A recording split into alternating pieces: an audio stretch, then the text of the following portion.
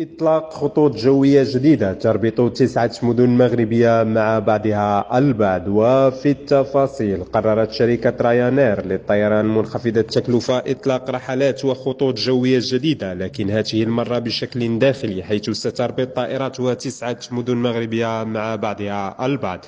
وفي هذا الصدد قررت رايانير إطلاق خطوط جوية داخلية في المغرب وذلك بدعم من وزارة النقل واللوجستيك ووزارة السياحة والصناعة التقليدية والاقتصاد الاجتماعي والتضامني وبالتعاون مع المكتب الوطني المغربي للسياحة. وفي إطار هذا المشروع التطوير الاستثنائي سمحت السلطات المغربية لشركة رايانير بوضع رحلات داخلية محددة بين بعض المدن المغربية عبر فتح 11 خط جوي داخلي جديد ابتداء من صيف سنة 2024